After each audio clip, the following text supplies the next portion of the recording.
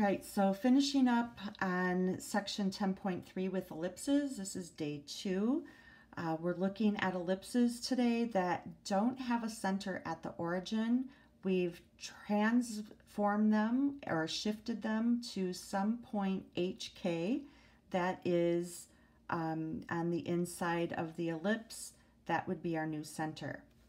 This information inside the box is the same information that's down here, and I think this is a little bit easier to understand where we have the, uh, the long ellipse with the major axis that is now parallel to the x-axis because we have a shift of h and k units. Because this is the major axis, this is our a value, it's the bigger value, and it goes under the a part of the equation.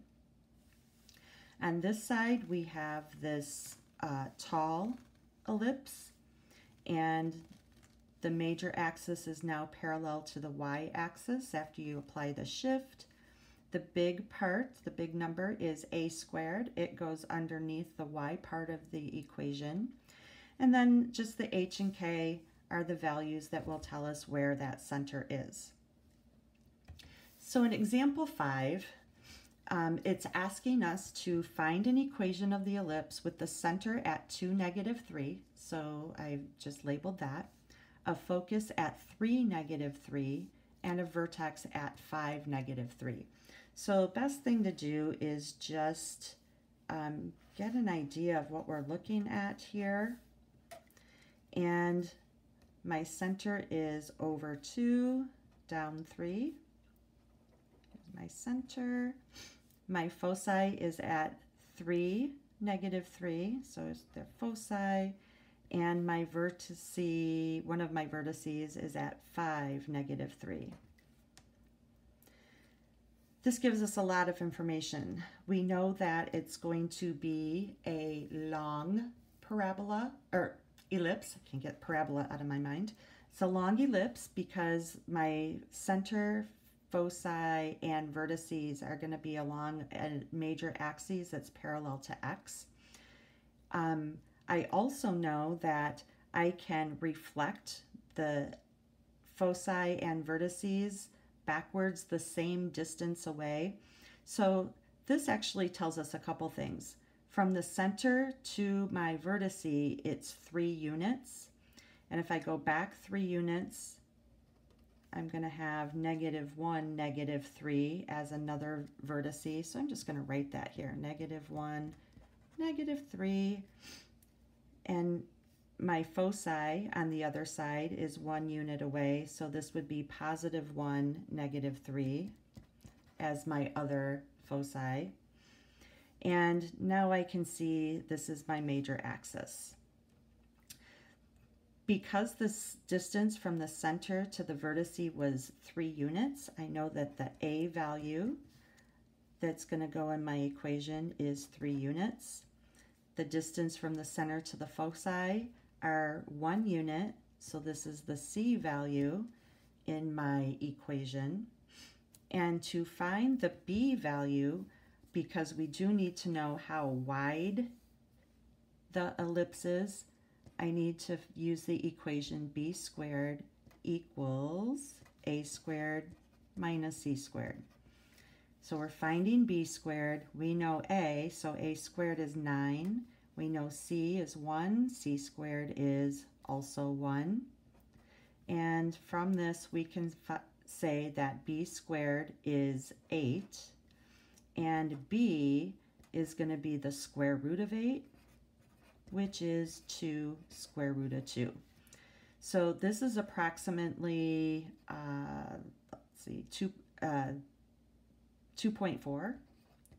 I know it's between 2 and 3 because the square root of 4 is 2 and the square root of 9 is 3. Actually, this is actually closer, so maybe let's make that 2.8, almost 3. So I just need this because I am counting from my center up and down almost three units. So I'm going to go almost to the x-axis here and then down almost three units this way. And now I can kind of draw in my ellipse. So because I know my A, B, and C values, I can now also write my equation. So I'm going to use the equation for the long ellipse. So if we remember, my center is at 2, negative 3. So in the x part of my equation, I'm going to have x minus 2, that is squared, over a squared. So a is 3, a squared is 9. Then I have y minus negative 3, so that'd be y plus 3. That's squared, and that's over b squared, which is 8. And in standard form, all of this equals 1. So it's asking us to find the equation and we've done that and we're graphing the equation and we've done that. So now let's look at another example. This will be on the next page. And here it's asking us to analyze this equation. All right, so everything that we had in our last example, um, everything's multiplied out here. So um, we need to arrange this formula so that it is in the proper standard form for an ellipse. So what we're going to do is we're going to reorganize our terms and we're going to take our x terms and put them together. So this would be 4x squared minus 8x. And we're going to take our y squared terms y squared plus 4y. And I'm going to send my 4 over to the other side. So this would be minus 4. And essentially what I want to do is I want to complete the square for each of these. So before I complete the square, because I have a coefficient here, I want to factor out that 4. And I have x squared minus 2x because 4 times 2 is 8 and there's a minus. And then plus what number is my perfect square factor? Half of the middle term is negative 1. Square it, you get 1. And now when I factor this, I have 4. And then I have x minus 1 squared. Now working on the y parts. I don't need to factor anything out. So I just need to complete the square. Half of the middle term is positive 2. Positive 2 squared is 4. And by the way, over here, when I added the 1 here, I forgot to add it over on this side, but really I added 1 times 4, and that would be 4. So I need to add 4 here. And on this side, I also added a 4. So I'm going to add another 4. When I factor this, I'm going to have y plus 2, same number that was half of the middle, and then that squared. And now all of this equals minus 4 plus 4. That cancels. I have another plus 4, so that equals 4. But in an ellipse, this needs to equal 1. So I'm going to divide all of the parts by 4. So those cancel and I'm going to have x minus 1 squared over 1 plus y plus 2 squared over 4, that equals 1. So this is the equation that I'm going to work off of. So when I'm analyzing, I want to find lots of stuff. First of all, we need to find the center. So my center is at the point negative, sorry, positive 1, negative 2. So 1, negative 2 is my center. And as I find all this stuff, we might as well graph it. So 1, negative 2 is right here. That's my center. I know my a value, this is a squared is 1, so I know that my a value is 1, and my b, ooh, sorry, my b value is 1 because this is actually the short side, so my a value is 2. Longest number underneath the, the y means I'm going to have a long or a tall ellipse. So my A value is two units away from the center. One, two, up and down. So this is a vertex, vertice. And I'm going to go down two units. Here's another vertice. And now I need to find my foci. All right, so while I'm, before I do that, let's label my vertices are at 1, 0, and negative, I'm sorry, 1, negative 1, 2, 3, 4. So 1, 0, and 1, negative 4. My foci are going to be in, inside here, and I'm going to find them from using the equation b squared equals uh, a squared minus c squared. I know my b squared value is is 1. This is b squared. My large value underneath here is 4. So essentially this is saying 4 times minus what number is 1. So c squared is going to be 3. And c is going to be the square root of 3. So for my foci, the square root of 3 is between 1 and 4, so this is going to be about 1.7, or 1 and 2, square root of 1 and square root of 4. So I get about 1.7, which, if I put these here, are very close. 1.7 right here. This is my foci. And now I need to name these points. All right, so I know it's over one, and from my center, I went up the square root of three units. So the x coordinate is going to be 1.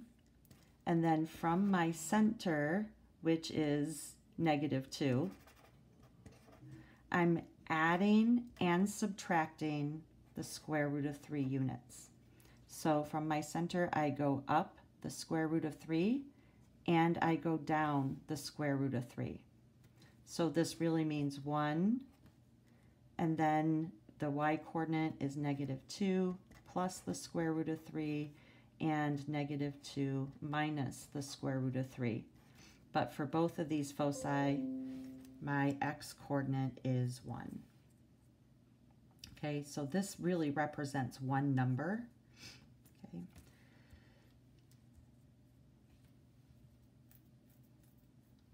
All right, so we just need to finish drawing the ellipse. I know my b value is one unit, so from my center, I'm going to go over one, both directions.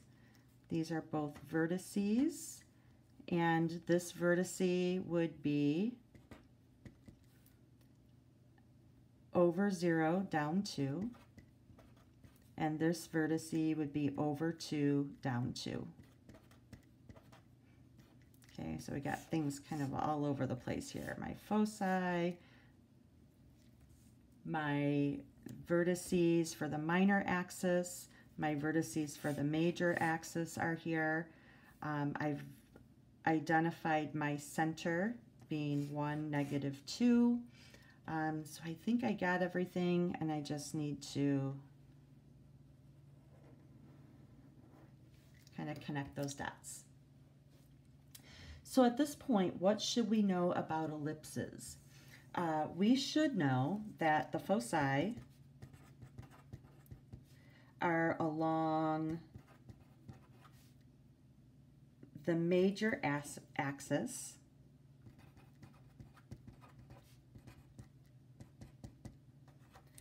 and are on the inside of the ellipse.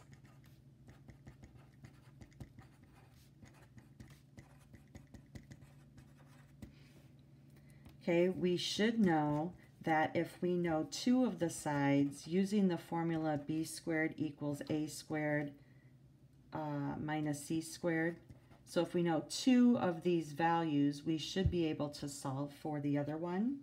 And remember that a is the distance from the vertex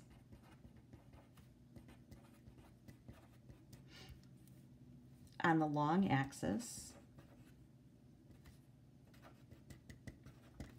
and B is the distance from the vertex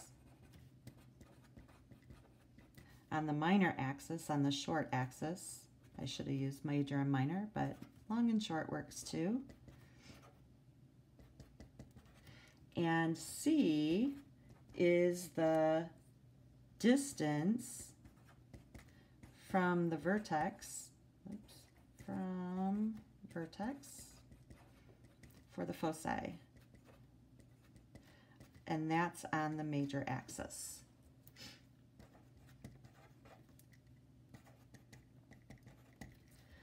And one last thing I think we should know at this point, if you can graph the, the ellipse, you should be able to write an equation for it.